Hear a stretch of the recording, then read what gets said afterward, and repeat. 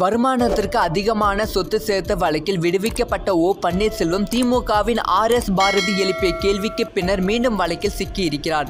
சென்னை உயர்நீதிமன்றம் தாமாக முன்வந்து ஓபிஎஸ் மீது வழக்கு தொடர்ந்து தற்போது நோட்டீஸ் அனுப்பி உள்ளது சொத்து குவிப்பு வழக்கில் ஸ்ரீவல்லிபுட்டு நீதிமன்றம் K. K. S. S. R. Ramachandran Thangam Thennarasu மற்றும் அவரது குடும்பத்தினர் விடுதலை செய்து உத்தரவிட்டது. இதேபோல அமைச்சர் பொன்முதி மீதான வழக்கை விசாரித்து உயர்நீதிமன்றம் அவரை விடுதலை செய்தது. இந்த நிலையில் திமுக அமைச்சர் அமைச்சர்கள் K K S S R Ramachandran Thangam Thennarasu மற்றும் பொன்முடி ஆகியோர் சொத்து குவிப்பு வழக்கில் கீழ்மை நீதிமன்றங்களால் விடுதலை செய்யப்பட்டதை எதிர்த்து சென்னை உயர்நீதிமன்றம் தானாக முன்வந்து வழக்கு பதிவு செய்தது.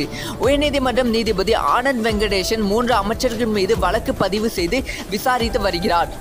திமுக அமைச்சர்கள் மீது தாமாக முன் வந்து உயர்நீதிமன்றம் வழக்கு பதிவு செய்தது திமுக அமைப்பு செயலாளர் ஆர் எஸ் பாரதி எதிர்ப்பு தெரிவித்தார். இது தொடர்பாக சென்னை அண்ணா அறிவாலயத்தில் திமுக அமைப்பு செயலாளர் ஆர் எஸ் பாரதி செய்தியாளர்களிடம் பேசிய போது திமுக சார்பில் தான் தொடர்ந்து வழக்கு எடப்பாடி பழனிசாமி தொண்ணூறாயிரத்தி அறுநூறு கோடி ஊழலும் முறைகேடுகளும் நடந்துள்ளது என்று இரண்டாயிரத்தி பதினெட்டில் தொடரப்பட்ட வழக்கை விசாரித்த நீதிபதி சிபிஐ விசாரணைக்கு உத்தரவிட்டார். உடனடியாக எடப்பாடி பழனிசாமி உச்சநீதிமன்றம் சென்று தடை ஆணை பெற்றார்.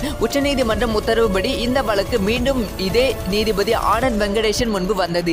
நீதிமன்றம் நேரத்தை வீணடிக்க கூடாது என்று சொல்லி தீர்ப்பை கூறிவிட்டார். பதினெட்டு ஏழு ரெண்டாயிரத்தி இருபத்தி மூன்று அன்று இதே நீதிபதி ஆனந்த் வெங்கடேஷன் மூணாயிரத்தி ஆறுநூறு கோடி அளவுக்கு ஊழல் நடந்த வழக்கில் சிபிஐ விசாரிக்க வேண்டும் என்று உத்தரவிடப்பட்ட ஒன்றில் நீதிமன்றத்தின் நேரத்தை வீணடிக்கிற வேலை நீதிமன்றத்தை அரசியலுக்கான விளையாட்டு மைதானமாக மாற்ற வேண்டாம் என்றார். ஆனால் இரண்டு வாரங்கள் கழித்து அதே நீதிபதி வெறும் நாற்பத்தி நாலு லட்சம் ரூபாய் சொத்து குவிப்பு வழக்கில் அமைச்சர் K S S R Ramachandran மீது வழக்கை தாமாக முன்வந்து விசாரணைக்கு எடுத்து நீதிமன்றத்தின் பொன்னான நேரத்தை செலவிடுவேன் என்று கூறியிருக்கிறார். அதே போல பொன்முடி மற்றும் தங்கம் தென்னரசு வழக்கில் சென்னை உயர்நீதிமன்றம் தனது பொன்னான நேரத்தை செலவிட்டு விசாரிக்கும் என்று நீதிபதி ஆனந்த் வெங்கடேசன் கூறியிருக்கிறார். ஓ பன்னீர்செல்வம் நத்தம் விஸ்வநாதன் வளர்மதி அதிமுக அமைச்சர்களாக இருந்தவர்கள் எந்த முகந்திரத்தின் அடிப்படையில் விடுவிக்கப்பட்டார்களோ அதே முகந்திரத்தின் அடிப்படையில் தான் திமுக அமைச்சர்கள் விடுவிக்கப்பட்டுள்ளார்கள். ஆனால் இன்றைக்கு ஓபிஎஸ் மற்றும் நத்தம் விஸ்வநாதன் எம்எல்ஏவாக தான் உள்ளார்கள். எம்பி எம்எல்ஏகளுக்கு மீதான வழக்குகளை விசாரிக்க அதிகாரம் பெற்ற நீதிபதியான அவர் குறிப்பிட்ட தேர்ந்தெடுத்த திமுகவை சேர்ந்த அமைச்சர்கள் குறித்து வழக்குகள் மட்டும் எடுத்து உயர்நீதிமன்றம் தாமாக முன்வந்து விசாரிக்கிறது என்றால் இது போல விசாரித்து நீதிமன்றத்துக்கு நீதிபதிகளுக்கும் இருக்காது. ஆனால் பாகுபாடு பார்த்து விசாரணைக்கு எடுக்க கூடாது என்பதுதான் விதி. எனவே இதை உச்சநீதிமன்றத்தை இதையெல்லாம் ஒரு கேள்விக்குறியாக எடுக்க வேண்டும். நீதிமன்றத்தின் மீது திமுகவுக்கு நம்பிக்கை உள்ளது. சட்ட ரீதியாக வழக்குகளை எதிர்கொள்வோம் என ஆர் எஸ் பாரதி கூறியிருக்கிறார். இந்த நிலையில் ஆர் எஸ் பாரதியின் இந்த பேட்டி வெளியான பின்னர் சென்னை உயர்நீதிமன்றம் ஓ பன்னீர்செல்வத்தின் மீதான தாமாக முன் வந்து வழக்கு பதிவு செய்தது. சொத்து குவிப்பு வழக்கில் முன்னாள் முதலமைச்சர் ஓ பன்னீர்செல்வம் உள்ளிட்டோர் விடுவிக்கப்பட்ட விவகாரத்தில் லஞ்ச ஒழிப்புத்துறை ஓபிஎஸ் உள்ளிட்டோர் பதிலளிக்க சென்னை உயர்நீதிமன்ற நீதிபதி ஆனந்த் வெங்கடேசன் உத்தரவிட்டிருக்கிறார் ஓபிஎஸ் வழக்கு எண் வருமானத்திற்கு அதிகமாக ஒன்று புள்ளி எழுபத்தி ஏழு கோடி ரூபாய் சொத்து சேர்த்ததாக ஓபிஎஸ் உள்ளிட்டோர் மீது லஞ்ச ஒழிப்பு போலீசார் தொடர்ந்து வழக்கை பதிவு செய்து விசாரித்து வருகிறார்கள். சிவகங்கை மாவட்டம் சிறப்பு நீதிமன்றம் இரண்டாயிரத்தி பன்னெண்டாம் ஆண்டு அனைவரையும் வழக்கில் இருந்து விடுவித்து உத்தரவிட்டது. இந்த வழக்கை மறு ஆய்வுக்கு எடுத்து உயர்நீதிமன்றம் நீதிபதி ஆனந்த் வெங்கடேஷன் வழக்கில் மேற்கொள்ளப்பட்ட விசாரணை நடைமுறையை குறித்து கடுமையாக குற்றம் சாட்டினார் குற்ற வழக்கில் விசாரணை நடைமுறை கேள்விக்கூட்டாகி இருக்கிறது.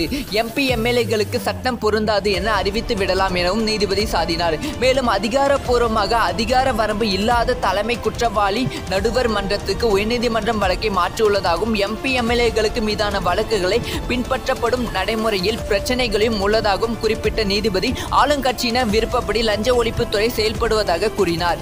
லஞ்ச ஒழிப்புத்துறை அரசியலில் இருந்து விலகி செயல்பட வேண்டும் என்றார். இரண்டாயிரத்தி பன்னெண்டில் பிறப்பிட்ட உத்தரவு தற்போது மறு ஆய்வு செய்வதில் எந்த தவறும் இல்லை என்று அவர் கூறினார். லஞ்ச ஒழிப்புத்துறை பச்சோண்டியாக மாறிவிட்டது என்றும் ஆட்சிக்கு ஏற்றது போல் தன்னை மாற்றிக்கொள்வதாக லஞ்ச ஒழிப்புத்துறை மீது குற்றம் சுமத்திய நீதிபதி லஞ்ச ஒழிப்புத்துறை கொண்டு வந்ததற்கு நோக்கம் சிதைந்து விட்டதாக தெரிவித்தார். இதற்கு நீதிமன்றங்களும் துணை போவதாக கூறி நீதிபதி வருமானத்திற்கு அதிகமாக முன்னூத்தி எழுபத்தி ரெண்டு சதவீதம் சொத்து சேர்த்ததற்கு அறிக்கை தாக்கல் செய்து லஞ்ச ஒழிப்புத்துறை பிறகு புகாரில் முகந்திரம் இல்லை என தெரிவித்ததை ஏற்றுக்கொள்ள முடியாது என்று கூறினார். மேலும் ஓபிஎஸ் மீது வழக்கு தொடர அனுமதி தந்ததை திரும்ப பெற்றுக் கொள்வதாக சபாநாயகர் தெரிவித்தது உச்சநீதிமன்ற உத்தரவுக்கு எதிரானது என்றும் சபாநாயகர் தன்னை நீதிபதி போல் கருதி முடிவெடுக்க முடியாது எனவும் நீதிபதி கருத்து கூறினார். இதேபோல வழக்குகளில் இருந்து விடுவிக்கப்பட்ட உத்தரவுகள் அனைத்தும் மறு ஆய்வுக்கு எடுத்துக்கொள்ளப்படும் எனவும் நீதிபதி ஆனந்த் வெங்கடேஷன் இன்று வழக்கு விசாரணையின் போது தெரிவித்தார். சொத்து குவிப்பு வழக்கில் இருந்து திமுக அமைச்சர்கள் விடுவிக்கப்பட்டு வழக்குகளை மறு ஆய்வுக்கு எடுத்து விசாரித்து வரும் நீதிபதி ஆனந்த் வெங்கடேசன் தற்போது முன்னாள் முதல்வர் அமைச்ச- அமைச்சரமான ஓ பன்னீர்செல்வம் மீதான வழக்கையும் விசாரணைக்கு எடுத்துக் கொண்டிருப்பது திமுக மற்றும் அதிமுகவில் பெரிய பரபரப்பை ஏற்படுத்தி இருக்கிறது